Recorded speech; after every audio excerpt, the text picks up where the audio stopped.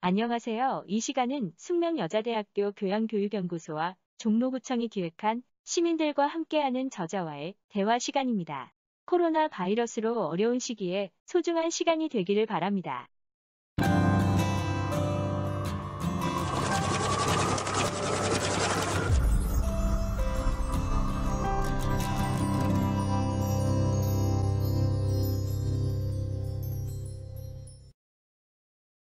안녕하세요. 숙명여자대학교 김은교 인사드립니다. 자기 책에 대해서 소개하라는 그런 부탁을 받았습니다. 제가 뛰어난 작가도 아니고 성실한 학자도 아니기 때문에 음, 제 책에 대해서 말씀드리는 것이 굉장히 명구스럽고 사실은 부담스럽습니다. 발터 베냐민의 일방통행로라는 책을 보면 어, 뒷부분에 책을 어떻게 쓰는가 재미있는 글들이 나와요. 어떻게 하면 책을 두껍게 쓸 수 있는가 뭐 이런 얘기도 나오고요. 뛰어난 작가 혹은 어, 성실하게 연구해 오신 분들에게는 어, 우습고 좀 볼품없는 강의가 될 것 같아요. 그런 분들은 영상을 보지 마시고 아직 책을 내보지 못하신 분, 이제부터 책을 쓰려고 하시는 분들은 책을 쓰려면 어떻게 해야 되는가 그런 시각에서 이 강의를 봐주신다면 도움이 될지 모르겠습니다. 어, 강연을 하면 여러 질문을 해주십니다. 그 질문 중에 책에 관해서 질문하시는 분들이 계세요. 그 중에 제가 15개를 뽑았습니다. 그래서 그 질문에 대해서 제가 답하는 형식으로 말씀드릴까 합니다. 예전에 영상에서 미리 한 부분이 있어서 때때로 제가 강연했던 영상에서 갖고 와서 말씀드리겠습니다. 어, 얼마 전에 연세대 근대 한국학 연구소에서 강연했는데 거기서 중요한 부분을 부분 인용하기도 했습니다. 책을 어떻게 쓰는가, 책을 어떻게 썼는가, 또 어떤 책을 쓰려고 하는가 이런 대화를 나누려 합니다. 그럼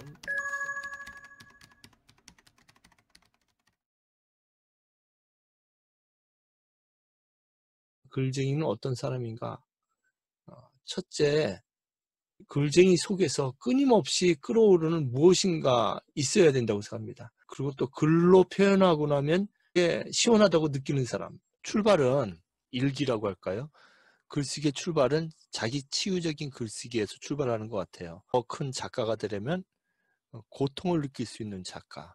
그 고통은 그 고통이 자기 고통이기도 하고 타인에 대한 고통이기도 하고 자연에 대한 지구에 대한 고통이기도 하고 어떤 차별에 대한 고통이기도 하고 혐오에 대한 고통이기도 하고 억압에 대한 고통이기도 하고 그 고통을 보고 어, 가만히 있지 못하는 마음 어, 그런 수준까지 올라간다면 작가로서 굉장히 큰 역할을 할 수가 있겠죠. 두 번째는 오래 앉아있는 인내력이 아니라 기쁨이 있어야 된다고 생각합니다. 제가 고등학교 때 책 읽는 것을 기뻐해서 그냥 정신없이 매주 한 권씩 책을 읽어야 한다는 그런 강박관념처럼 근데 그게 굉장히 기뻤어요. 어, 지금도 그래요. 글을 쓰면 전 기뻐요. 기뻐서 시간 가는 줄 모르고 쓰기도 합니다. 어, 억지로 써야 하는 글은 어, 안 씁니다. 예전에 잡지사 기자 할 때도 어, 제가 쓰고 싶은 글만 썼어요. 셋째는 그 기쁨을 조절할 수 있는 사람이 작가 같아요. 책을 쓰거나 글을 쓸 때 몇 가지 방법이 있는데요. 첫째는 매일 씁니다. 매일 짧은 글을 밥 먹듯이 씁니다. 일주일에 두세 번 긴 글을 씁니다. 짧은 글이란 것은 A4 용지 반절 정도? 제가 페이스북에 글을 쓰는데 그 페이스북에 글을 쓰는 것이 맨 처음에 A4 용지 반절 정도 쓰는 것 같아요. 그 페이스북에 글을 안 쓰면 번역하거나 책을 집필하고 수정합니다. 그리고 일주일에 하루 날 정해서 글만 쓰는 겁니다. 두세 번 긴 글을 쓰는 겁니다. 네 번째는 의무로서 글을 쓸 수 있어야 한다고 생각합니다. 이건 내가 써야 한다. 내가 쓰지 않으면 안 된다 하는 절박한 심정이 생길 때가 있어요.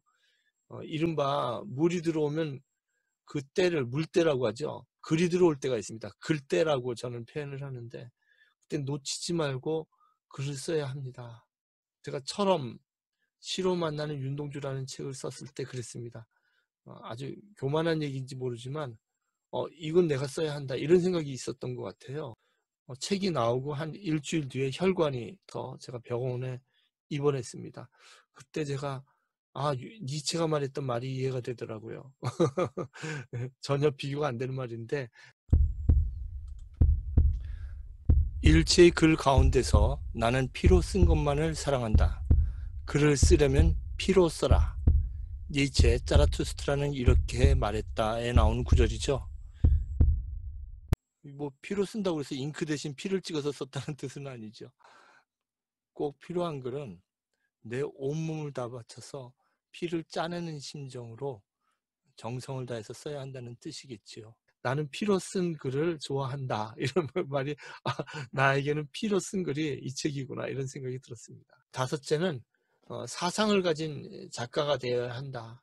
자기 나름의 사상을 가진 작가가 되어야 한다. 끊임없이 공부해야 한다. 이런 생각이 들었어요.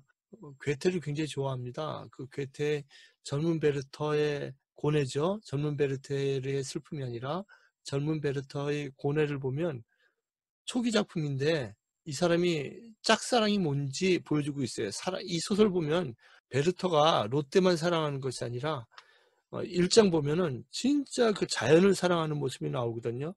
그 편지 첫 편지부터 자연을 사랑해서 뭐 여러 구절이 나오고 그리고 또 어, 계급주의를 타파하려는 생각을 갖고 있어요. 그래서 어, 하인이 우물물에서 물 떠줄 때 그 베르터가 자기 스스로 물을 퍼먹고 그 강낭콩을 갖다 자기가 끓여서 먹고 그것이 나중에 비판받거든요. 귀족들이 그 하인들하고 같이 대화하고 그러냐고 롯데를 사랑하죠. 물론 실제 괴테가 또 사랑했던 여자 이야기이기도 하지만 그러니까 자연 생태계를 사랑하고 다른 타자를 사랑하고 어, 여인을 사랑하고 정말 짝사랑의 진수, 사랑이라는 것이 무엇인가를 보여준 것이 괴테의 베르터의 어, 고뇌라는 작품입니다. 어, 그래서 알아차린 사람이 신동엽 같아요. 그래서 신동엽이 라디오 대본 쓸 때 짝사랑이라는 단어를 씁니다. 괴테는 짝사랑을 알고 있었다. 어, 베르테의 슬- 슬픔을 단순히 한 남자가 한 여자 사랑하다 자살하는 이야기로 보면 안 됩니다. 젊은 베르테르의 고뇌 안에 파우스트가 다 들어있어요. 그 안에. 파우스트 1권에 나오는 그 사랑 이야기와 그 파우스트 2권에 보면 막 이렇게 우리 4대강 사업처럼 막 부시고 이런 거 막 반대하잖아요. 개간 사업 반대하잖아요. 식민지 점령하는 것도 괴테가 반대하잖아요. 그런 이야기들이 베르테의 고뇌에 들어 있습니다. 그래서 저는 괴테처럼 자기 사상을 갖고 있는 사람, 어, 세계문학에 대한 기준도 갖고 있었죠. 어, 괴테의 세계문학 기준에 이미 오리엔트 문학, 동양 문학이 들어와 있었습니다. 그래서 서동 시집이라고 동양 시집을 모아서 편집해서 내기도 했죠. 작가라는 존재를 쓰자면은 첫째, 그 고통을 보고 어, 가만히 있지 못하는 마음. 두 번째는 어, 오래 앉아서 인내로 글을 쓰는 것이 아니라 기쁨으로 글을 쓰는 사람. 셋째는 그 기쁨을 조절하여 매일매일 글 쓸 수 있고 또 매주일, 주- 일주일에 한두 번은 두세 번 긴 글을 쓰는 사람. 넷째는 의무로서, 때로는 이 글을 내가 써야 된다는 의무로서 글을 쓰는 사람. 다섯째는 사상을 갖고 글을 쓰는 사람. 이 다섯 가지가 작가로서의 기본적인 자질이 아닌가 이런 생각을 해봅니다.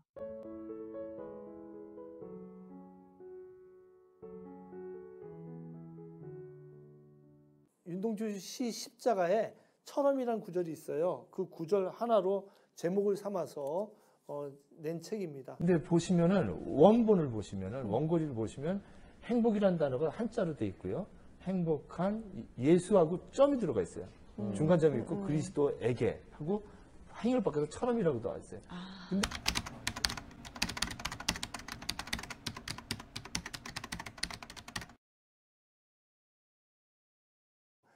제 책처럼 그 앞에다 제가 이렇게 썼어요. 윤동주를 만들어진 우상쯤으로 함부로 봤었다. 그러나 그의 시를 한편 한편 읽고 나서 어설피 말했던 내 신용이 남새스러워졌다. 이렇게 썼습니다. 어, 저는 정말 윤동주 시인을 얕봤어요. 나이 아마 30대 중반까지도 윤동주 시인을 우습게 보고 그 당시 어디서 강의하면은 청소년들이나 좋아하는 그냥 그냥 상투적인 시처럼 생각했던 경향이 있었습니다.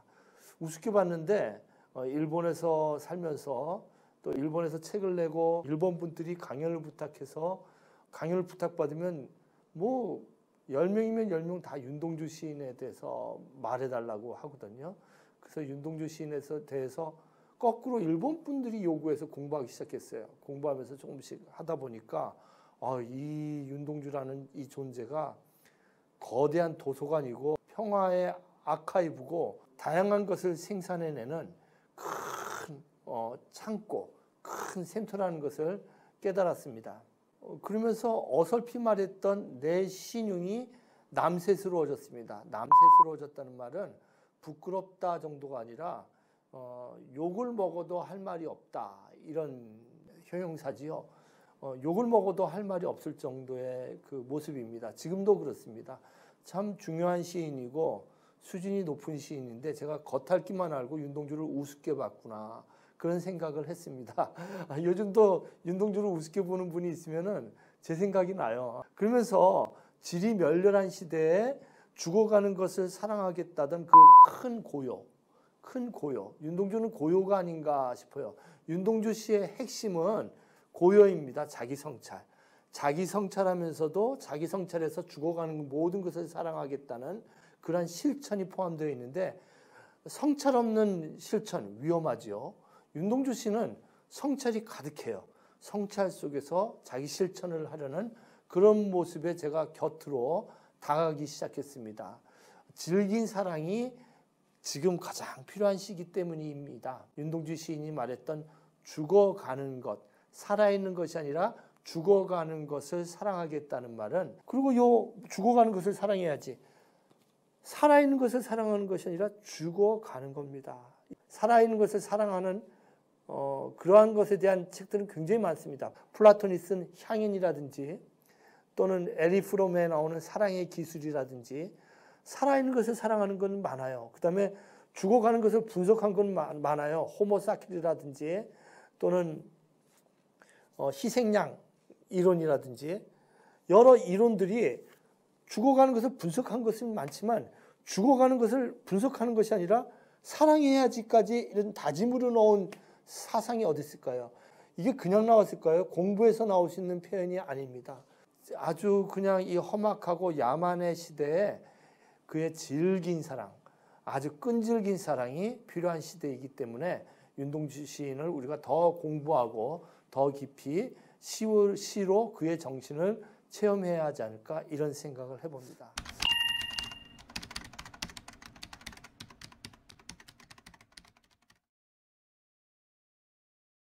쉬운 말로 한국어를 아는 사람들이 누구나 이해할 수 있게끔 쓴다. 이게 제 목표였어요. 이해가 안 돼요. 윤동주는 쉽게 쓰려고 애를 썼거든요. 누구나 읽을 수 있도록. 그냥 어린애도 쓸 수 있는 그런 동시를 쓰고 쉽게 썼는데 왜 이렇게 윤동주 로는 어려울까?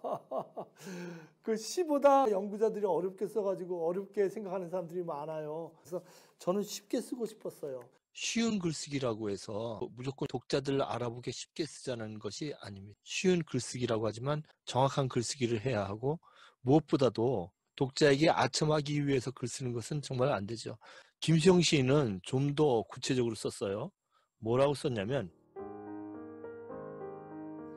비평가의 태도로서 또 한 가지 중요한 것은 독자에게 아부를 해서는 아니 된다는 것이다. 독자를 납득시키는 것은 필요한 일이지만 독자에게 아부를 하는 것은 피해야 할 일이다. 물론 독자의 마음을 잘 살피는 것이 중요하죠. 근데 마음을 살피는 것 같고 아부하는 건 다른 거죠. 아부한다는 말은 아무 주체성 없이 매달리는 상태 아니겠습니까? 어, 그런 글을 쓰면 안 되는 거죠. 쉬운 글이란 것은 아부하는 것이 아니라 작가가 확실한 자기 사상으로 독자와 함께 가야 할 길을 같이 가자고 하는 것이죠. 그러기 위해서 어렵지만 함께 쉬운 그 길을 갈 수 있도록 쉬운 글을 쓰자는 것이지 아부하자는 것이 아닙니다.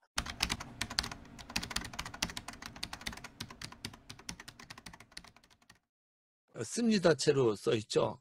어, 책을 냈는데 10년이 지나서 재판을 찍는다고 연락이 왔어요. 그 책이 이제 사회적 상상력과 한국시라는 소명 출판에서 연락이 온 건데 고맙죠. 어, 표지도 갈고 예쁘게 해서 10년 동안 500부 팔렸으면 그 책을 버리는데 소명 출판사는 필자를 보호해줘요. 어, 그 고맙더라고요. 반대로 고마움과 함께 저에 대한 반성이 시작됐어요. 내가 글을 썼는데 500명 읽을 책을 썼다. 그 종이가 아깝지 않은가? 이런 반성이 있는 거예요. 독자에 대한 생각을 못했던 것 같아요. 책을 재판하면서 아, 출판사에 너무 미안하더라고요. 야, 이걸 창고를 10년 동안 내가 책을 차지하고 있었겠구나. 그러면 창고 비용을 출판사에서 계속 냈겠구나. 이 생각하니까 정말 미안한 거예요. 근데 박사과정 들어가면서 독자에 대한 개념을 잃어버렸습니다. 예전에는 영등포 노동자 문학회나 성수동 노동자 문학회에 가서 몇 번 문학 이야기를 하면서 노동자 문학 이야기라는 책을 냈어요. 백민이라는 이름으로 책을 냈었습니다. 쉬운 대화체로 글을 썼는데 그때는 노동자라든지 문학을 쉽게 접하지 못하는 분들을 생각했지 숫자는 생각하지 않은 것 같아요. 뭐 단 10명만 읽어도 좋다 이런 생각으로 팜플렛 비슷하게 책을 조그맣게 냈습니다. 그래서 세 가지로 바뀌었습니다. 첫 번째는 500명만을 대상으로 한 것이 아니라 한글을 아는 사람이라면 누구라도 읽을 수 있는 책을 써야겠다 이런 생각을 가졌어요. 4천만이죠. 한글을 안되면 누구라도 나이에 관계없이 어, 책을 읽을 수 있도록 쓰자 이런 생각을 했었습니다. 핵심 독자는 20대, 그 다음에 표준 독자는 고등학생에서 40대 회사원, 40대 살림꾼, 셋째는 확산 독자, 중학생부터 70대까지 생각하며 쓴다. 어, 처럼 이런 책은 씁니다라는 책으로 쓰기로 한 거죠.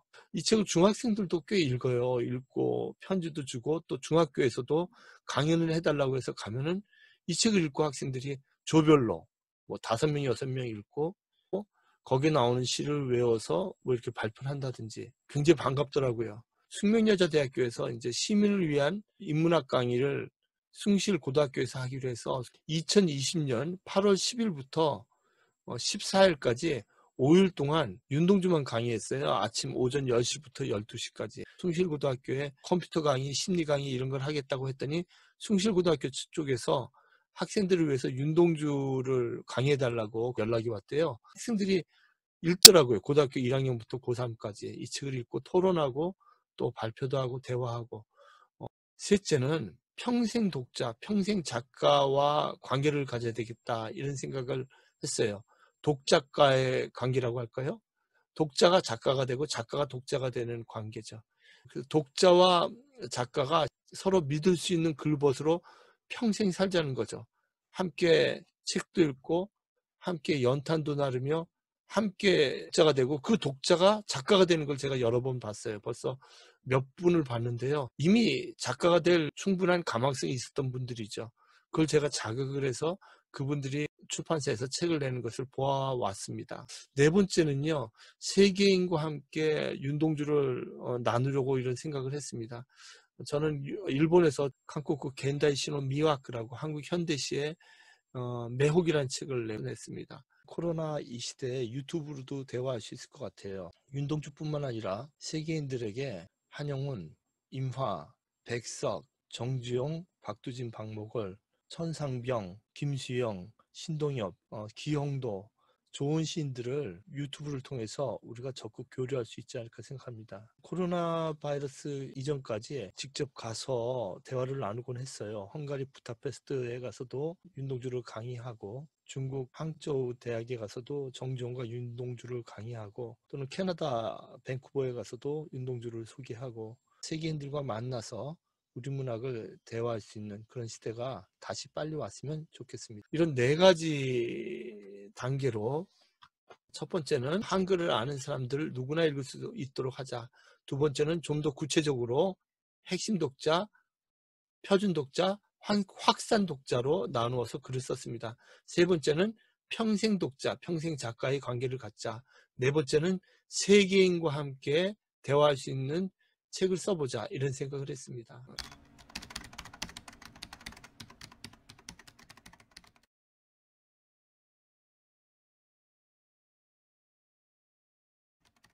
쉬운 문체를 한다면 저는 조지 오웰이 제일 먼저 생각이 나요.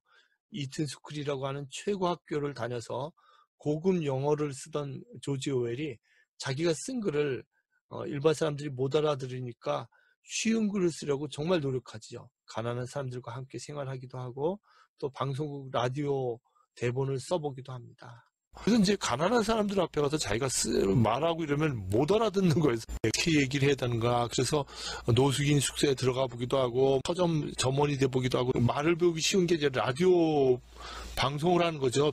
라디오는요, 우리 한국도 그렇지만 어, 한글을 아는 사람은 다 알아듣게끔 말해야 됩니다. 동물농장은 그렇게 해서 탄생한 겁니다. 아주 쉬운 용어인데요. 그 쉬운 용어로 소설을 쓰려고 이 사람이 조지 오웰이 빈민촌에 들어- 들어가 보고 노숙자들과도 생활을 해보고 이러면서 그 이튼 스쿨에서 보- 배운 고급 용어가 아니라 쉬운 언어로 그 책을 쓰려고 했거든요. 또 저는 한국 작가 중에 전 우익이란 한 분이 계세요. 아직도 현암사에 책이 나오고 있는데요. 그러니까 초판 나오고 우연히 책을 받았는데 야 쉬운 글인데 이렇게 쉬운데 깊은 사상을 갖고 있구나 이런 생각을 가졌습니다. 제가 글 중에 한, 하나를 읽어보겠습니다. 서울 오갈 때 오리를 걷는데 점점 불편하게 느껴져요.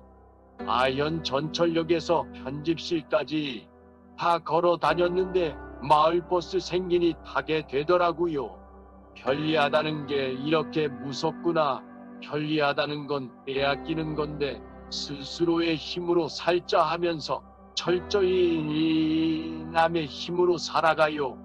전엔 부득이해야 탔지요. 다 걸어 다녔지요. 이젠 부득이해야 걷습니다.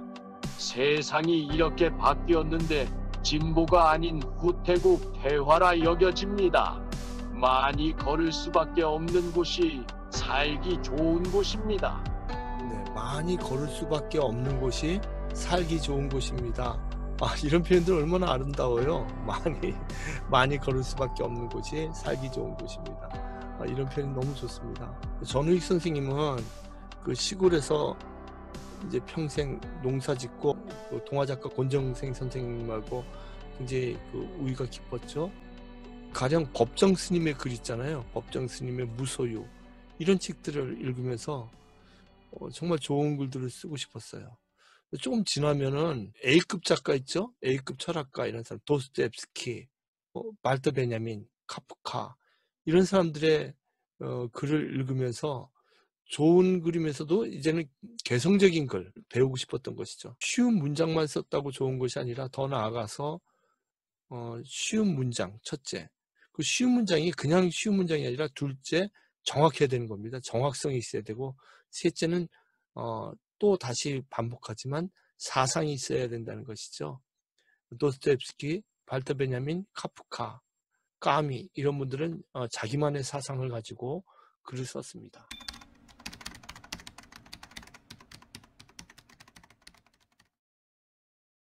에세이 같은 느낌이 들지요. 에세이처럼 한편 한편 에세이처럼 생각하면서 연재를 했거든요. 한 2년 반 정도 연재하고 묶었어요. 그러니까 연재라는 것이 참 좋습니다.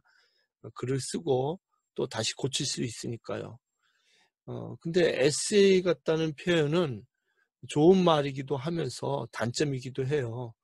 그 아리스토텔레스가 그 사람을 설득할 때 세 가지 수사학이 있다고 얘기했거든요. 로고스, 파토스, 에토스라고 합니다. 로고스는 어, 논리만 가지고 이렇게 얘기하는 거예요. 그 논문이라든지 또 연설로 말하면은 그 학술 발표 이런 것이야말로 로고스죠. 전혀 감정적인 면이 없는 겁니다. 파토스는 뭐냐면은 감정을 넣어서 얘기하는 거죠. 그러니까 파토스 말 말하기로 얘기한다면 파토스는 정치적인 연설, 텔레비에서 상품 설명 이런 거 파토스죠. 감정적이고 정보는 로고스적 면은 한 10%로 하고 파토스를 7, 80%로 얘기하는 겁니다. 또 에토스는 뭐냐면은 에토스는 윤리적인 거죠. 그러니까 결혼식 축사라든지 뭐 입학식 축사 이런 것들 주로 에토스예요. 윤리적인 글들. 에세이는 파토스적 측면이 강- 강합니다. 저는 로고스와 파토스의 균형을 가진 에세이적 평론, 에- 그 균형을 지키고 파토스적인 측면이 강한 게 이제 김수영 시인의 산문이죠. 에토스적인 측면은 거의 없고요. 어, 로고스를 기반에 두고 파토스적인 측면이 김수영은 굉장히 강해요. 그러니까 설득력이 있고 굉장히 운동성이 있죠. 휘발성이 있습니다. 그런데 이제 에세이 같다고 하면 이렇게 위험한 게 뭐냐. 너무 에세이 같으면 실증적이지 않고 작가가 자기를 드러내는 방식이 될 수가 있습니다. 가장 문제가 되는 것이 그거죠. 첫 번째는 실증적이지 않을 수가 있다. 감상적인 측면이 강화될 수가 있다. 둘째는 자기 과시가 은근히 드러날 수가 있다. 이런 것이 이제 에세이 장르의 그 문제점이죠. 그러면 즉시 거부감이 일어납니다. 실증적이지 않은 상황에서 막 흥분하고 그러면 거부감이 일어나고요. 두 번째는 어, 자기 잘난 척을 막 계속하면은 거부감이 일어나요. 그래서 저는 글을 쓰고 나서 나는, 저는 이라는 주어를 없애는 작업을 합니다. 유튜브 영상을 만들 때도 마찬가지인데요. 저는 나는, 저는 이라는 주어를 어, 되도록이면 없어요. 거의 나타나지 않도록 어, 빼면은 나는, 저는, 저도, 저 역시 이런 말 나오면 역시 어, 은근히 어, 자기 과시를 하는 부분이 되거든요. 그래서 그런 부분은 없습니다. 그래서 에세이적 평론을 쓸 때 주의해야 될 것은 반대이죠. 첫째로 철저하게 로고스적 측면을 잃으면 안 된다. 실증적인 자료를 대면서 두 번째는 자기 과시하지 않도록 그 두 가지의 기준을 지키면서 쓰면 좋을 것 같습니다.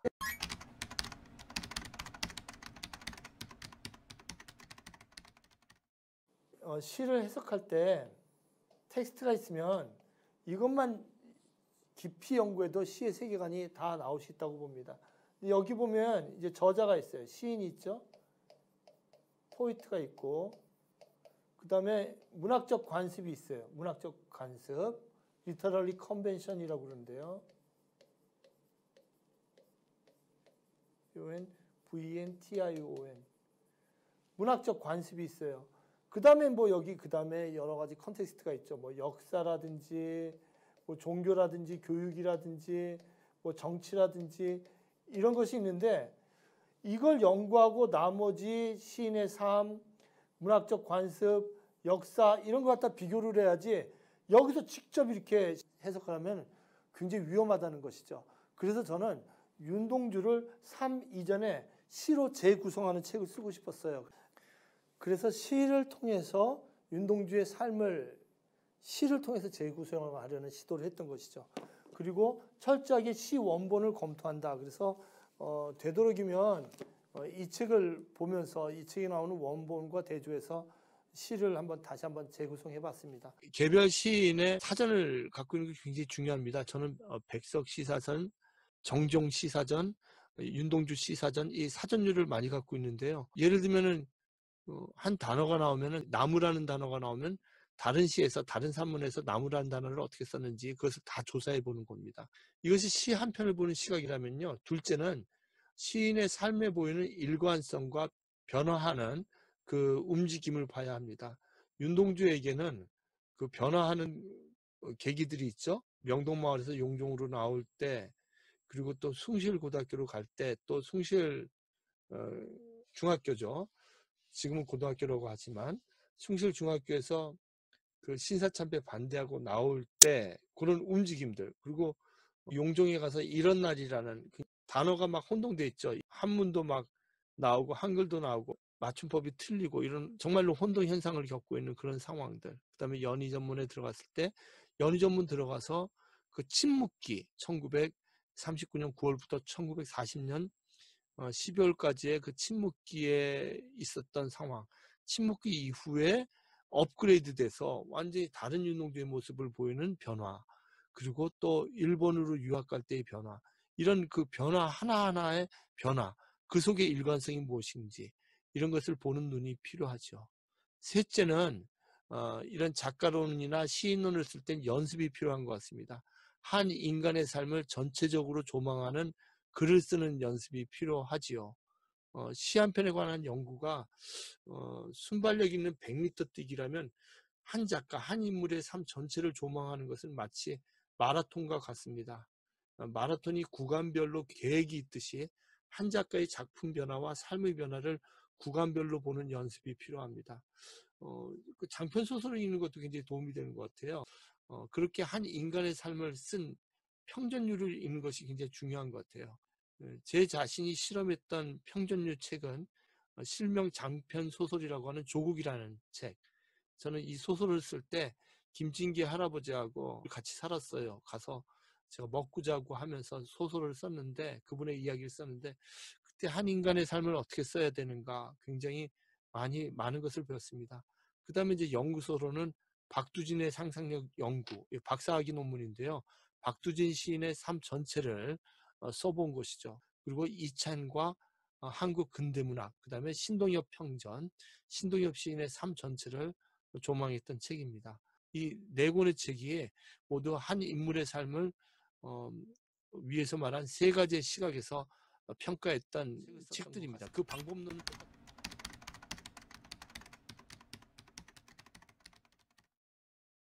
그 다음에 기존의 용어를 다시 검토하는 것이죠. 기존의 연구자들이 썼던 여러 가지 용어들이 있습니다. 기독교 시인이라고 그러는데 그냥 기독교 시인일까 이런 고민도 해봤고요. 1939년 9월부터 1940년 12월까지 윤동주가 어떠한 글도 남기지 않거든요. 그걸 이제 저- 절필기라고 그래요. 절필기란 용어는 저는 받아들일 수가 없어요. 저는 이제 침묵기라고 해야 되죠. 침묵기는 여러 의미를 갖습니다. 어, 윤동주가 좋아했던 키에르 키르 키르케고르 키르케고르에서 침묵이 얼마나 중요한지 몰라요. 그 공포와 전율이라는 책 보면 윤동주가 읽은 것 같은데요. 그 영향이 눈 감고 간다 이런 시에 명확히 나오거든요. 근데 키르케고르는요, 가령 아브라함이 어, 침묵하고 말하지 않고 이삭을 데리고 이삭을 제물로 바치러 가거든요. 그 전체 집안 재정을 담당하는 사람에게도 말하지 않고 그 침묵의 의미를 어우 깊이 써요 키르케, 키르케고리. 이 인간에게 침묵이라는 것이 얼마나 중요하고 얼마나 큰 의미를 갖고 있는지. 키르케고르도 그렇고요. 성경에서도 보면 어, 성경에서도 보면 예수가 등장하기 이전에 그 이런 그저 역사가 있죠. 이제 창세기라는 이제 원 역사가 있고 요것이 이제 판넨베르크가 얘기했던 성서적 역사관인데요. 예수가 다시 이 과거의 성서적 역사관 창세기에 나온 원 역사를 예수가 다시 확대시켜서 발전시킨다 그런 얘기가 있는데요. 예수가 나오기 전에 한 다니엘 무슨 그런 예언자들 이후에 4, 500년간의 침묵기가 있어요. 침묵이라는 것은 엔토 슈샤코가 소설로 침묵이라는 소설도 썼지만 그냥 의미 없는 것이 아니라 그 침묵을 통해서 꽉 찬 어떤 의미가 있어요. 윤동주가 1939년 9월부터 40년 12월까지 침묵기를 통해서 그 다음에 엄청난 도, 도약을 이룹니다. 그 다음 해인 1941년 5월 금음에 또 그 금음, 금음에서부터 어, 그 9월까지 누상동 9번지에서 이제 아홉 편의 시를 쓰거든요. 그때 5월 31일 날 썼던 시들 보세요. 뭐 깜짝 놀랍습니다. 그죠? 뭐 태초의 아침에라든지 또 십자가라든지 그날 썼던 시들 보면은 그 깊이가 대단합니다. 침묵을 통해서 터지는 나오는 시들 1940년에 썼던 병원 삼부작 병원 위로 이런 시들 있잖아요. 이 책이 나오고 몇 분에게 엽서와 메일과 편지를 받았습니다. 1급 평론가 연구자라고 생각되는 분들이었어요. 그분들의 편지와 엽서를 받고 위로를 받았어요. 세 분이 다 공통적으로 아, 이 부분이 정말 뛰어났다고 했던 부분이 있었어요. 이 책 그 264쪽에 나오는 그 팔복에 대한 해석, 해석입니다. 슬퍼하는 자는 복이 있나니 슬퍼하는 자는 복이 있나니 마지막에 저희가 영원히 슬플 것이오라고 했던 그 부분입니다. 저주시로 보고 또는 풍자시로 보고 하나님을 저주하는 아니 하나님 뭐 예수님처럼 살아봤자 이제 영원히 그 슬플 것이다. 그걸로 끝난다는 말로 이렇게 예, 사람들이 알고 있었는데 저는 이 책에서 이제 그 슬픔을 얘기하는 것이 그 윤동 슬퍼하는 자는 복이 있나니 아, 얘기할 때 그 슬픔이라는 것이 그 비극적으로 얘기하는 것이 아니라는 의미를 그 슬픈 족속이라는 시를 예를 들면서 이야기를 했죠. 슬픔이라는 것은 그냥 어떤 조롱거리가 아니라 윤동주에게서 슬픔은 슬픈 족속에 나오듯이 고독과 함께하는 또는 사라진 것과 함께하는 죽어가는 것과 함께하는 슬픔이다. 참회록을 보면 슬픈 사람의 뒷모양이 거울 속에 나타나온다. 슬픔은 그 자기 자신이기도 하지요. 그래서 저는 윤동주의 시에 나오는 그 슬픔이라는 것은 단순한 조롱이나 풍자가 아니라 자기 자신이기도 하고 우리 민족이 겪고 있는 슬픔이란 이야기를 제가 썼어요. 이 시 안에 이미 답이 있어요. 어, 그 시- 윤동주 성경 구절을 제목 팔복 아래 마태복음 5장 3절로 12절까지 써 있거든요. 근데 수정한 부분 보면요. 처음엔 마태복음 5장 3절로 10절까지 써 있어요. 근데 여기서 수정하면서 11절, 12절을 넣었거든요. 이 시의 이 시를 푸는 답은요. 이 마태복음 시- 수정한 부분 11절하고 12절 이 부분에 있어요. 11절하고 12절 이 부분에 있는 거죠. 의를 위하여 박해를 받은 자는 복이 있나니 천국이 그들의 것임이라. 나로 말미암아 너희를 욕하고 박해하고 거짓으로 너희를 거슬러 모든 악한 말을 할 때에는 너희에게 복이 있나니 기뻐하고 즐거워하라. 하늘에서 너희의 상이 큼이라. 너희 전에 있던 선지자들도 이같이 박해하였느니라. 마태복음 5장 11절 나로 말미암아 너희를 욕하고 박해하고 거짓으로 너희를 거슬러 모든 악한 말을 할 때에는 너희가 복이 있나니 그러니까 어, 예수를 따르다가 욕을 듣고 박해받고 어, 거짓으로 막 이상한 말을 듣고 모든 말, 악한 말을 들어도 그때 오히려 복이 있다는 것이죠. 그 다음에 12절에 기뻐하고 오히려 기뻐하고 즐거워하래요. 하늘에서 너희의 상이 큼이라. 너희 전에 있던 선지자들도 이같이 박해 받았느니라. 이 뜻이죠. 박해 받았느니라. 이 성경 구절을 읽고 10절까지 했다가 12절까지 이렇게 윤동주가 포함시킨 것이죠. 윤동주가 이 성경, 성경 구절에 나오듯이 5장 10절, 5장 10절까지 했다가 12절로 이렇게 늘어가지고 썼죠. 11절, 12절에 답이 있다는 겁니다. 이 시야말로 어, 윤동주가 단순히 절망을 하거나 포기란 것이 아니라 오히려 성경을 깊이 깨닫고 어, 고통과 함께하는 것이 의미가 있다는 것을 깨달은 어, 참된 어, 윤동주가 깨달은 시다 이렇게 제가 썼던 것이죠. 이 부분을 연구자분들께서 엽서를 써서 또 편지를 써서 아 여기 팔복 해석이 여기 참 어, 옳다고 그렇게 저한테 보내주셨어요. 이 책에서 제일 다른 것이 기존 팔복의 시를 어, 풍자시나 조롱시나 어, 또는 절망시로 읽었던 그런 것을 완전히 다르게 해석했다는 부분이 이 책, 철험 책에서 어, 중요한 부분으로 평가받는 것 같습니다. 그러니까 팔복에 대한 시 해설을 어, 과 더불어서 그 두 편의 시에 대한 해석을 음, 윤동주가 침묵기를 지내고 완전히 새로 깨달은 시기의 시로서 그렇게 평가를 했죠. 그런 평가가 가능한 것은 시대를 보고 시를 무조건 어, 해석하는 것이 아니라 윤동주 삶의 전체 흐름, 침묵기와 더불어서 그 다음에 그 세 편의 시가 있고 병원 삼부작이 있고 그 다음에 1942년 들어서 5월 31일에 세 편의 시를 쓰지요. 십자가, 그죠? 십자가 등을 비롯해서. 그러니까 그 흐름을 봤을 때 완전히 업그레이드 되거든요. 그 계기를 볼 수 있는 것이 어, 팔복이다. 이렇게 보는 것이죠. 그렇게 봤을 때 그 흐름이 이어지지 절망시, 무슨 조롱시, 무슨 풍자시 이렇게 해서는 그 흐름이 이어지지 않아요.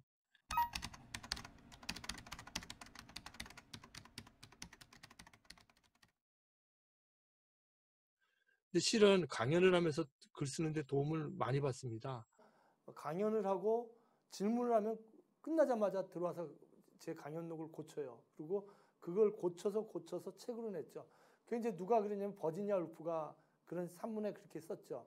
나는 강의를 하면은 강연을 하면 그것이 내 책에 내 소설에 들어온다. 자기만의 방이 강연록이죠. 어, 옥스퍼드 대학교에서 이제 강연했던 내용을 풀어서 쓴 건데 어, 이제 강의하고 그 원고를 가져와서 다시 소설처럼 어, 허구의 공간 또는 뭐 여러 주디스 세익스피어라든지 어, 버지니아 울프가 지어낸 인물들을 집어넣었어요. 그래서 어, 자기만의 방은 강의한 것을 풀어서 다시 재가공해서 어, 소설적인 강의록으로 이렇게 낸 것이죠. 강의록 같은 소설이라고 할까요? 이에치카의 역사란 무엇인가도 강연을 통해서 글을 다듬었어요. 그 강연록으로 다듬고 그것을 BBC 방송국에서 낭송을 해보고 그래서 그거를 이제 그 이야기 강연록을 다듬어서 역사란 무엇인가라는 책을 쓰죠. 어, 윤동주를 쉬운 언어로 알리고 싶어서 이제 대중과 만나는 작업들을 저는 소중하게 됩니다. 생각합니다. 이...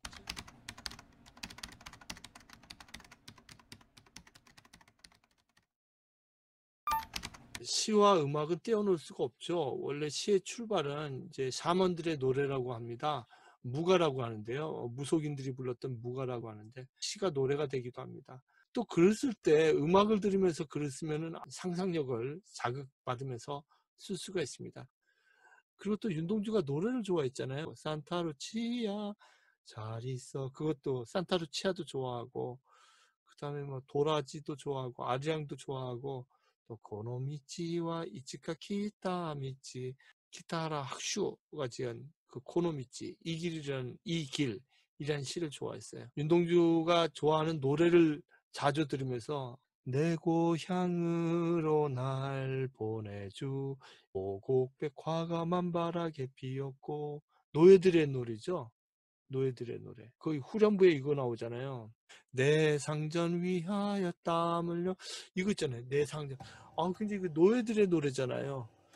어, 이걸 윤동주가 정말로 공감하면서 들었을까? 우리가 노예들 아니야 식민지 사람들이.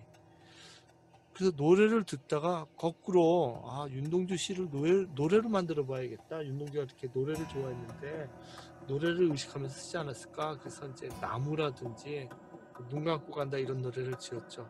윤동주 노래가 아니라 정종의 시 별똥 떨어진 데라는 시가 있습니다. 어, 윤동주가 정종 씨를 굉장히 좋아했는데요. 어, 잠깐 별똥 떨어진 곳 노래를 인용하고 그 다음 대화로 넘어가겠습니다.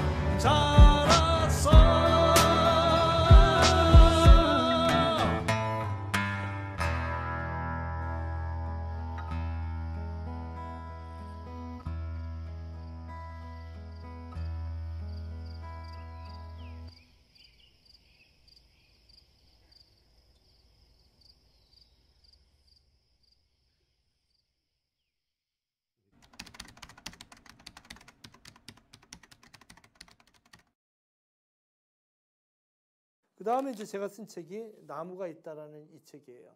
2017년에 윤동주 100주년을 위해서 대산문화재단에서 어, 윤동주 설문조사를 해달라고 그래서 제가 설문조사를 한 적이 있습니다. 윤동주 시인하면 떠오르는 이미지가 별, 어머니 이런 이미지가 있어요. 근데 제가 봐서는요, 그 못지않게끔 많이 나오는 이미지 또는 빈도에 비해서 더욱 중요하게 자리 잡은 이 이미지가 나무거든요. 나무에 대한 시가 많고 나무에 대한 어, 구절이 많은데 거기에 주목하지 않은 것 같아요.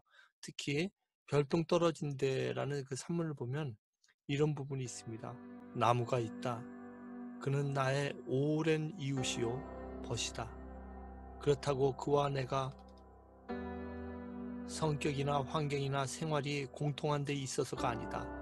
말하자면 극단과 극단 사이에도 애정이 관통할 수 있다는 기적적인 교분의 한 표본에 지나지 못할 것이다.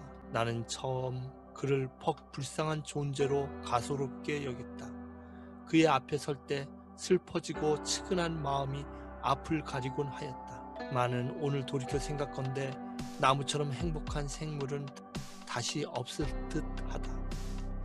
구둠에는 이루 비길 데 없는 바위에도 그리 탐탁지는 못할 망정 자양분이 있다 하거늘 어디로 간들 생의 뿌리를 박지 못하며 어디로 간들 생활의 불편이 있을 소냐?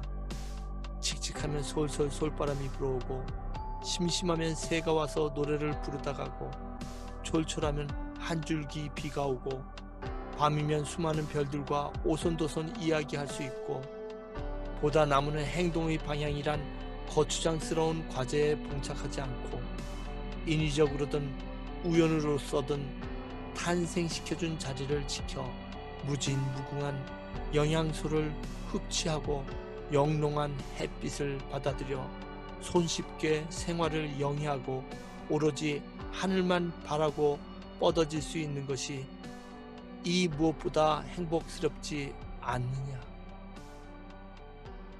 네, 저는 이 나무에 대해서 이렇게 아름다운 산문을 좀처럼 다른 곳에서 보기 쉽지 않은 것 같아요. 정말 이 어, 지금 그 생태계가 굉장히 문제되고 있는데 윤동주는요, 정말 별과 나무와 산과 병아리와 온갖 그 동물들 어, 그리고 또 산과 강과 또 이 나무 이런 것들을 인간과 같이 그는 나의 오랜 벗이요. 그는 나의 오랜 이웃이요. 벗이다. 이렇게 표현을 했죠. 그야말로. 어, 그 나무는요. 여기 보면 나무처럼 행복한 생물은 다시 없을 듯하다고 썼어요. 여기 또 아, 대단하죠? 어디로 간들 생의 뿌리를 박지 못하며 어디로 간들 생활의 불평이 있을 소냐. 뭐 진흙밭에서 태어나든 모래에서 태어나면 선인장으로 자라고요. 강에서 태어나면은 어, 바다에서 태어나면 또물 있기로 자라고 어디 있든지 이 나무와 같은 식물들은요 어디로 간들 생의 뿌리를 박지 못하며 어디로 간들 생활의 불편이 있을 소냐. 또 타자에 대한 배려도 있어요. 새가 와서 또 오손도손 쉬게 가게 만들죠.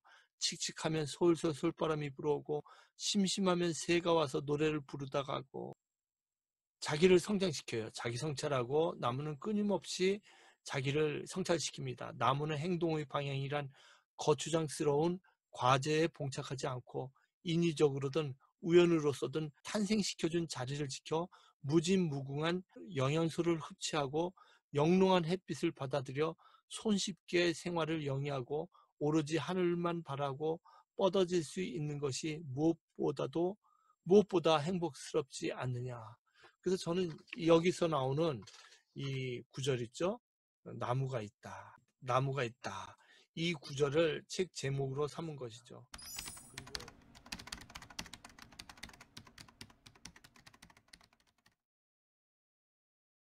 산문 네 편을 연구한 책입니다.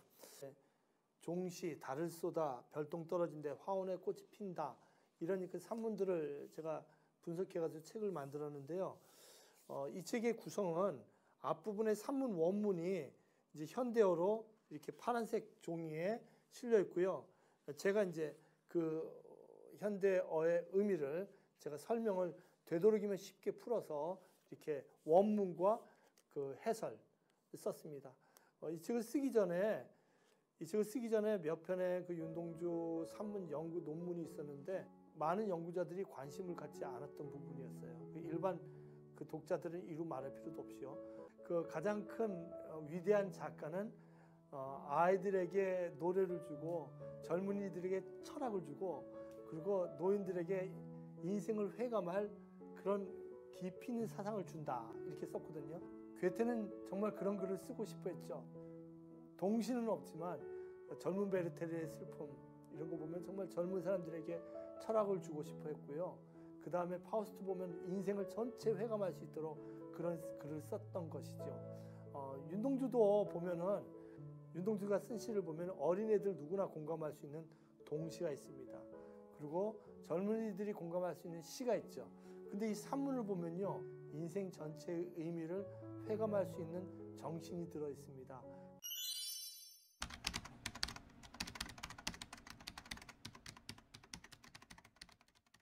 아칸의 시란 출판사에서 백석과 동주라는 책이 나옵니다. 윤동주가 1937년 백석을 만났다고 볼 수가 있겠죠. 1937년 그 졸업반인 5학년 때 어, 5학년으로 진급을 해서 8월에 그러니까 어, 이거는 이제 용종이죠. 용종에서 백석시 집 사슴을 베껴서 필사본으로 만듭니다. 별 많은 밤 한우바람이 불어 푸른 감이 떨어진다. 개가 짖는다. 백석 시인이 띄어쓰기를 무시하고 이렇게 별 많은 밤 한우바람이 불어서 푸른 감이 떨어진다. 개가 짖는다. 이렇게 네 개로 묶어놨어요. 이것은 백석이 띄어쓰기를 모르는 것이 아니라 이렇게 읽어달라는 것이죠. 모닥불, 시 모닥불도 보면은 백석이 이렇게 뒷부분에 모아놓은 부분들을 읽을 수 있어요. 신문사에서 일했던 백석이 띄어쓰기를 모를 리가 없죠. 근데 여기 보면은 이렇게 써놨거든요. 윤동주가 개가 짖는다 이렇게 하고 색연필로 빨갛게 칠해놓고 꾹꾹해서 작품을 살렸다 이렇게 썼어요. 아 이거 제대로 본 거죠. 이제 그 아주 파란 감이 있는데 익지 않았죠. 푸른 감이 아직 익지 않은 거죠. 빨갛게 이제 홍시로 가지는 않았고 별이 많아요. 별이 많은데 바람이 불어요. 바람이 부르니까 그 감나무가 막 흔들리겠죠. 이렇게 바람이 불어서. 그러니까 떨어져요. 거기서 끝났다면 그냥 풍경화에 지나지 않는데 떨어지니까 감이 뚝 떨어지니까 뚝 떨어지니까 떨어지는 소리 보고 개가 웅웅 짖는 거예요. 놀래가지고. 이게 자연이 이렇게 순환되는 구조, 이 전체의 구조를 시인이 이것을 썼을 때 그 정동의 의미, 감정이 아니라 정동이란 겁니다. 정동은 감정과 움직임이 같이 포함되는 거죠. 정동의 의미가 우리에게, 독자에게도 일어나서 우리 독자의 내부에서 울림을 일으키고 정동을 일으키는 것이죠. 윤동주는 정확히 봤던 거예요. 끝구에서 작품을 살렸다. 이 마지막 구에서. 이게 없었다면은 그냥 풍경화에 지나지 않는데 걔가 웡웡 짖는 거예요. 그 감이 떨어진 걸 보고 놀라가지고 어, 우리가 아주 재밌는 모양을 볼 수 있지요. 그래서 자연과 인간 세상 그리고 정감이 이렇게 어우러진 이런 상태 이걸 윤동주는 공감했던 것이죠. 어, 윤동주 시에 보면 한번 보세요. 한 별에는 밤 보면은요. 그 자연이 별이 그냥 별 풍경화 쓴 것이 아니라 별 하나의 아름다운 이름을 써봅니다. 그런 다음에 소학교 때 책상을 같이 했던 아이들의 이름과 그 다음에 패, 경, 옥 이런 이국 소녀들의 이름과 벌써 어, 애기 어머니가 된 계집애들의 이름과 가난한 이웃 사이 이웃들의 이름과 비둘기 강아지 토끼 노새 노루 어, 프란시스 잠 라이너 마리아를 이렇게 이런 이국 시인의 이름을 불러봅니다. 그러니까 별이란 것이 그냥 풍경이 아니라 인간 내면에서 우리와 함께 살아가는 그리고 함께 정동을 느끼는 그러한 어, 자연인 거예요. 이러한 자연이 백석시에도 나타나죠. 윤동주는 여기서 공감하지 않았을까? 저는 그런 생각을 해봅니다. 아, 여러분 백석시 아시죠? 백석시에 먹는 이야기가 얼마나 많이 나와요. 그죠? 백석시에. 얼마나 많이 백석시에 나옵니까? 이 감자 이야기가 윤동주에게도 나오고 백석 시인에게도 나오는 거예요. 어, 백석 시에 초동일이라는 시가 있어요. 초동일. 어, 흙담벽에 볕이 따사하다. 담벽, 담벽에 볕이 따사합니다.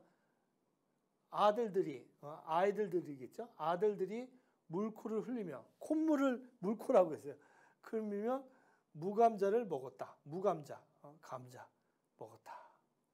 이렇게 나오는데 아들들이 물코를 흘리며 무감자를 먹는데 아 윤동주가 보니까 아 그림 같다 이게 아주 멋있는 거야 아이들이 막 콧물을 흘리면서 막 감자를 먹는 겁니다 근데 돌돌구에 그 다음에 오상스가 차게 복숭아 나무에 어 시라지 타래가 말라간다 시래기 타래겠죠. 시래기 타래가 이렇게 겨울에 말려서 이렇게 복숭아 나무에 걸려가지고 말리는 거죠. 말려서 이제 국 끓여 먹으려고.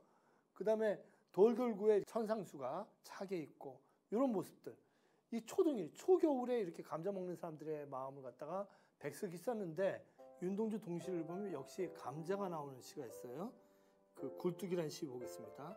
산골짜기 오막살이 낮은 굴뚝엔 몽기몽기 외인넥을 대낮에 쏟나 감자를 굽는 게지. 총각애들이 깜빡깜빡 검은 눈이 모여 앉아서 입술이 꺼멓게 수술 바르고 옛 이야기 한 커리에 감자 하나씩 산골짜기 오막살이 낮은 굴뚝엔 살랑살랑 쏟아나네 감자 굽는네 이거 재밌죠? 감자 굽는네 근데 여기서 중, 재밌는 구절이 여기 보면 비슷한 자- 장면이 나와요 산골짜기 오막살이 낮은 굴뚝엔 그죠? 어, 여기 흔딱하게 볕이 따사하니 풍경이 나오는 거 그림 같은 풍경 여기서 이제 그림을 만들고 있어요 윤동주도 그죠? 윤동주에 이런 구절 있지 않습니까? 옛 이야기 한 커리에 감자 하나씩 한 커리 커리란 말은 무슨 뜻일까요? 커리란 말은 어, 컬레라는 단어를 함경도, 강원도, 경상북도 이런 지역에서 그 산 지역에서 어, 컬레 두 개를 한 짝으로 하는 신발 한 컬레 뭐 이런 식으로 얘기하는 거죠. 그다음에 무슨 버선 양말 한 컬레 두 개를 한 짝으로 보는 겁니다. 그러니까 지금 이 구절 있지 않습니까? 옛 이야기 한 커리에 감자 하나씩. 옛 이야기 한 컬레에 감자 하나. 그러니까 한 컬레라니까 두 개니까 옛 이야기를 두 사람이 하나 주거니 받거니 하고 감자 하나 먹고 주거니 하- 받거니 하고 감자 하나 먹고 이런 이야기를 좀 쓴 거 아닐까요? 그 시 한 편이 또 나오죠. 무얼 먹고 사나. 이 무얼 먹고 사나라는 시에 보면 바닷가 사람 물고기 잡아 먹고 살고 산골의 사람 감자 구워 먹고 살고 별나라 사람 무얼 먹고 사나. 1936년 10월입니다. 역시 그 윤동주 씨 굴뚝은 36년 가을이고요. 어, 그 다음에 무얼 먹고 사나는 1936년 10월이에요. 37년 8월에 백석 시집을 어, 베껴서 필사했다고 하니까 백석 씨의 영향을 받았다기보다 그 이전에 백석 시집을 필사하기 제- 이전에 1년 전 가을에 굴뚝과 무얼 먹고 사나를 쓴 것이죠. 그러니까 이거는 뭐 영향이라기보다 어, 윤동주에게서 저절로 그 내부에 감자를 소재로 했는데 아 보니까 백석도 어 백석도 이런 시를 썼던 거예요. 시는 충신의 혼이 있어야 해요. 한용운의 시에는 있는데 대부분 막걸리에 물 탄 것 같이 밍밍해. 난 백석을 당시 풍속도를 그려낸 애국자로 봐요. 어려운 시절에 영문학을 버리고 조선문학을 하고 평안도 토속 언어를 남긴 게 충신의 혼이에요. 이시카와를 존경해서 본명이 백기행인데 필명에 석자를 넣은 것 같아. 800회를 하고 그 사람 시를 많이 읽어줬어요.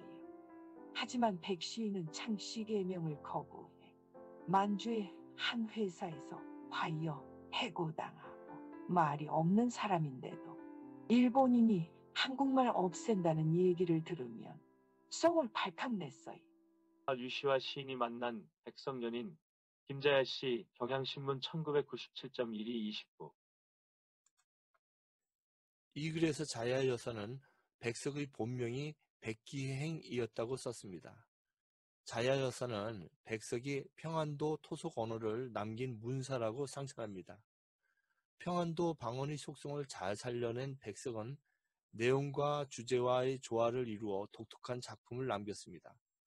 자야 여사가 충신의 혼으로 글을 썼다는 백석의 언어는 바로 평안북도 정주 지역에서 형성된 것입니다. 윤동주에게 고향은 시에서 명확히 나오지 않습니다. 북간도 명동마을에서 동주는 끊임없이 남쪽 하늘을 그리워합니다. 막상 경성에 도착해서 연희 전문을 다니면서 동주는 어머니는 북간도에 계십니다라고 쓰지만 고향 북간도라고 쓴 적은 없습니다. 일본에 유학 가서는 육첩방은 남의 나라라고 거부합니다. 동주에게 고향은 종교적인 순례자의 영원한 영원히 도착할 수 없는 목적지이기도 했습니다. 백석에게 평안도 정주는 성이 허물어진 슬픔의 땅입니다. 한편 동주에게 북간도 명동마을은 볼셰비키의 린치에 한밤중에 용종으로 이사해온 실패한 유토피아 공동체였습니다. 식민지 조국을 상징하는 함경도는 말할 필요도 없습니다. 그러나 그들은 끊임없이 정주와 함경도 사투리를 시에 살려내며 사라진 공동체를 시에서 복원해냈습니다.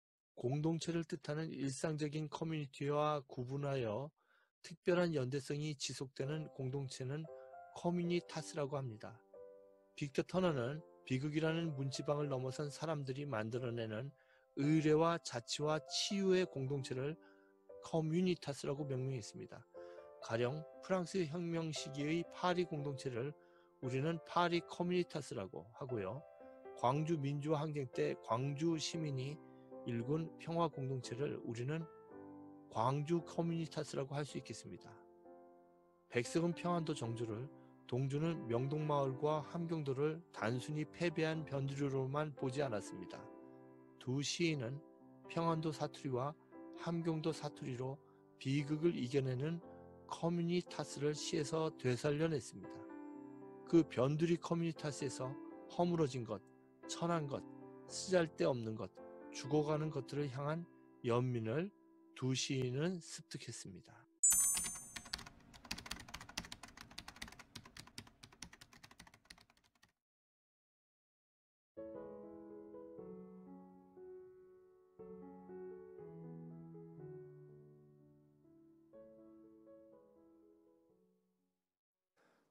시인이 읽은 책들이 이렇게 많아요. 영향받은 책들이 이렇게 많습니다. 그가 이제 읽은 책들을 공부해야 되는 겁니다.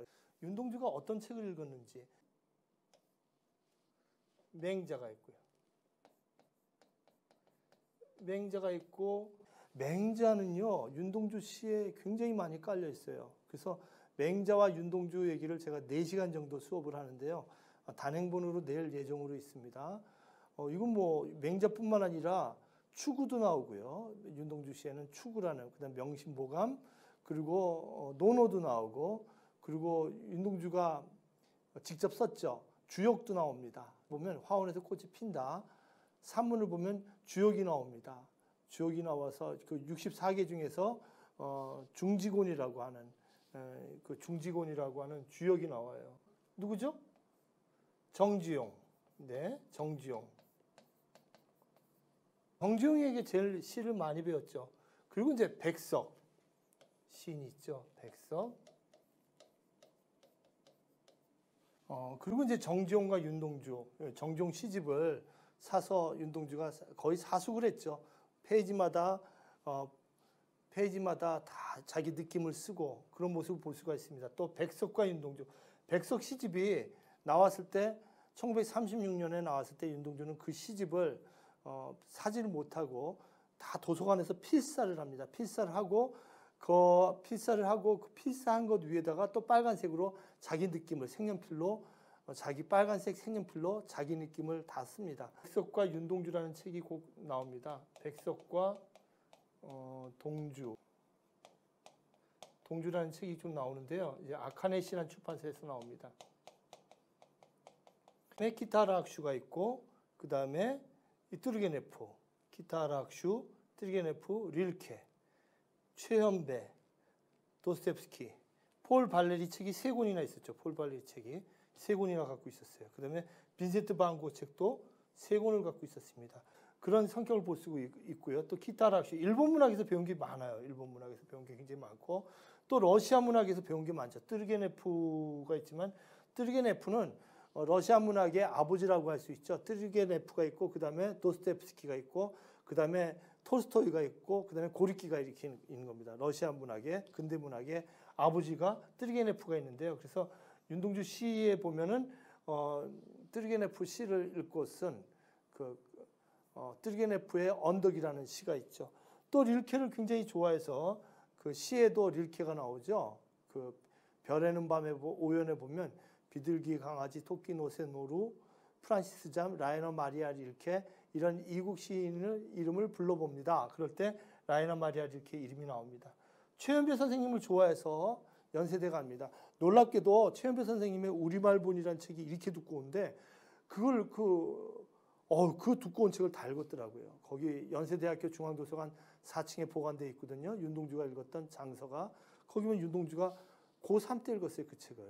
그리고 학교를 택한 거예요. 그리고 고향에 돌아오면 동생들에게 아, 그 최현배라는 선생이 있다. 그 선생 책 읽고 내가 참 즐겁게 많이 배운다. 그런 얘기를 하죠. 그 다음에 이제 도스토옙스키가 있죠. 도스토옙스키. 도스토옙스키 소설에서 죄와 벌을 읽은 것 같아요.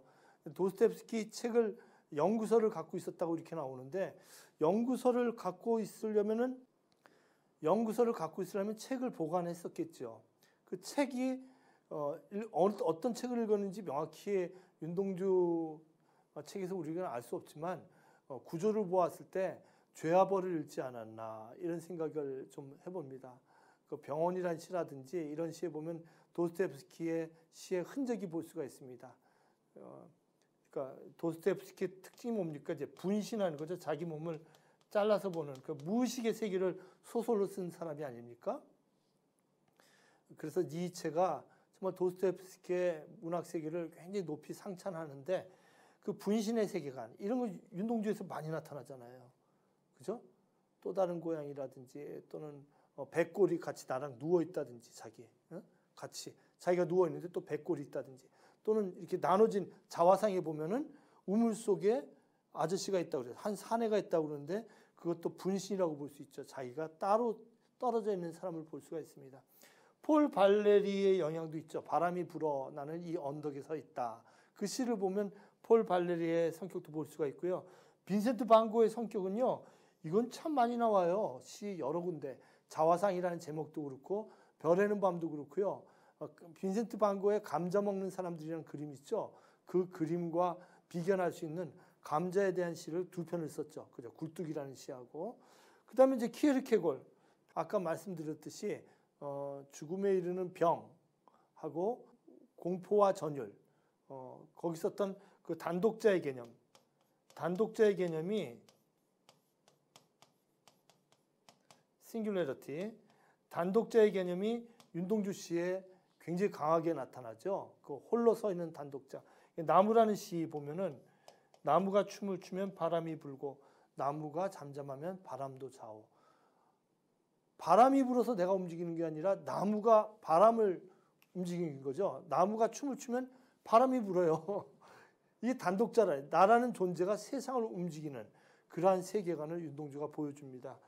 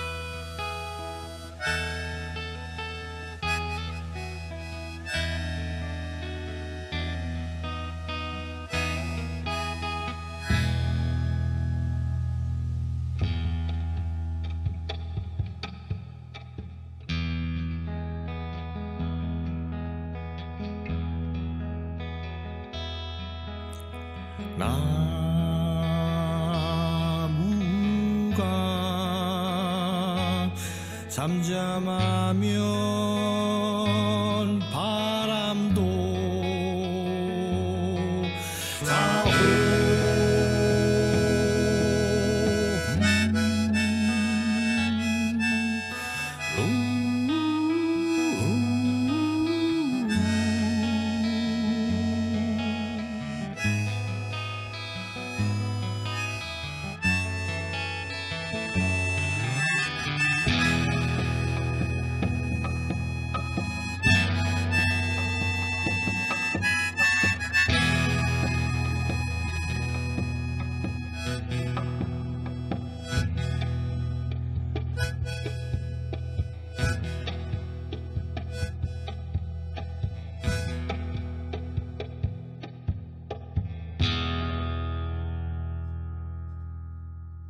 또 이제 성경이라는 건 이거는 뭐 어유 이건 제가 이- 지금 계속 책으로 집필하는데 어 굉장히 시간이 오래 걸릴 것 같아요. 어, 윤동주와 성경에 대해 저는 세 가지 태도를 저는 세 가지 태도로 어, 글을 쓰려고 합니다. 첫 번째는 첫째는 윤동주가 직접 어, 성경 구절을 인용한 경우입니다.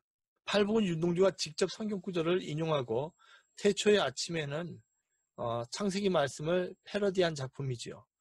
둘째, 성서적 사건이나 상상력으로 어, 작품을 쓴 경우입니다. 이적은 갈릴리, 이적이란 시는 갈릴리 호수에서 무리를 걸었던 예수의 모습이 이적이란 시에 보입니다. 초한대에서는 자신의 목숨을 바치는 십자가에서는 모가지까지 들이우고 꽃처럼 피어나는 피를 흘리겠다는 다짐까지 보입니다. 윤동주의 많은 시가 이 둘째 경향이 많다고 볼 수 있겠습니다. 셋째는 어, 윤동주가 의도하지 않았지만 그 작품을 읽으면 이후에 성서적 상황이 연상되는 경우입니다. 작품을 읽고 독자에게서 어떤 반응이 일어나는가를 연구하는 것을 수용미학이라고 그래요. Reception Theory, Reception Theory라고 합니다. 윤동주의 작품을 읽고 떠오른 성경 구절을 이제 무시해야 할까요? 이건 역시 수용미학적 측면에서 연구 대상이라 할 수 있을 것입니다. 초한대에 나오는 염소라는 단어를 읽으면 아무리 윤동주가 성경을 공부했다 하더라도 설마 아사셀 염소를 알았을까 어, 의심할 수밖에 없습니다. 아사셀 염소 제물을 어, 떠올리게 하는 작품이거든요. 근데 아사셀 염소 제물이 떠오른다고 그것을 무시할 필요는 없겠죠. 또 혹시 모르죠. 윤동주가 그런 설교를 어, 용정교에서 들었을 수도 있겠죠. 시, 감자, 식권 등은 성경에서 강조하는 밥상 공동체를 떠오르게 합니다. 이 세 가지 에, 연관관계, 성경 말씀을 직접 인용한 경우, 둘째는 성서적 사건이나 장- 상상력으로 작품을 쓴 경우, 셋째는 윤동주가 의도하지 않았지만 그 작품을 읽으면 이후에 성서적 상황이 연상되는 경우죠. 어, 이 세 가지 연관이 없는 작품은 윤동주와 성경이라는 항목에서 다루지 않을 것 같습니다. 그런데 이상하게도 성경과 이- 관계없는 작품이 있을까 싶을 정도로 윤동주와 성경은 겹쳐 있고 대부분의 시가 성경으로 어, 해석되고 성경적 상상력을 보여줍니다. 지금 대학원에서 성경과 윤동주를 제가 계속 어, 강의하고 있습니다. 지금 한 학기를 했는데 한 몇 년 할 것 같아요. 그러니까 윤동주가 이 많은 사람들을 갖다 그냥 적당히 읽은 게 아니라 책 한 권 한 권 보면 다 밑줄을 치고 꼼꼼히 공부를 했어요. 성경만 해도 영어 성경이 이제 두 권이 있는데 그걸 이제 윤동주가 꼼꼼히 봤다는 그 평생을 본 거죠. 27년 생활하면서 이제 윤동주를 연구를 할 때는 윤동주가 이런 책을 어떻게 읽었는가 그러한 것도 우리가 관심을 가져야 된다는 말씀을 어, 드립니다. 평생을 어, 걸고 한 권 한 권 내려고 하는데요. 단행본으로 한 권 한 권 내려고 하는데 다 못할 것 같아요. 그래서 그 외국어 문학 전공자들이 또 윤동주를 깊이 연구해야 하는데 같이 협력해서 연구하면 어떨까 이런 생각을 해봅니다.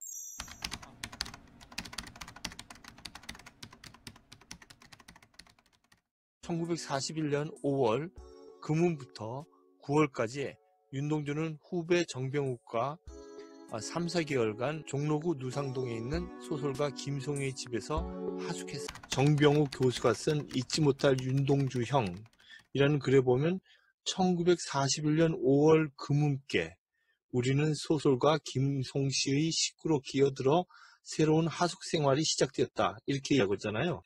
그 1941년 5월 금음께부터 시작해서 9월 말까지 살았거든요. 그래서 10월부터 이제 학제가 일본하고 같았기 때문에 1학기는 4월에 시작해서 이제 수업을 시작하고요. 2학기는 10월에 시작해요. 그러니까 수업하기 전에 이사를 간 거죠. 새로운 공간으로. 그래서 1941년 5월 금음부터 9월 말까지 집에서 5월 31일에만 4편이 기록되어 있어요. 또 태초의 아침, 십자가, 눈 감고 간다, 못 자는 밤. 뭐이 시들을 보면은 무슨 일이 있었을까요? 5월 31일에. 정비영옥이 19편을 보관하고 강초중이 강초중이 12편을 보관해서요. 어, 그 시를 합쳐서 사, 31편, 31편이 이 시집에 실립니다. 강초중에 대해서는 여러분 윤동주와 종로를 검색하시면 어, 제목이 윤동주 종로를 걷다 어, 검색하시면 제가 유튜브로 어, 강초중에 대해서 설명한 동영상이 있습니다. 오늘 제가 지금까지 윤동주 문학에 관련된 책 이야기를 해봤습니다. 아, 그러니까 굉장히 읽을 책이 많죠. 시집만 읽어서는 안 되고 정말 윤동주를 좀 알고 싶어 한다면 엄청나게 읽어야 되는 그러한 대작가라고 볼 수가 있습니다. 시 한 편이 나오기 위해서 그 어마어마한 독서 체험이 있었고 그 독서 체험을 파헤치는 연구서들이 이렇게 많이 나오는 것이지요. 어, 아직 끝나지 않고 아직도 윤동주 연구는 어, 100%라는 게 있을까요? 오늘 책 이야기 여기까지 하겠습니다. 들어주셔서 고맙습니다.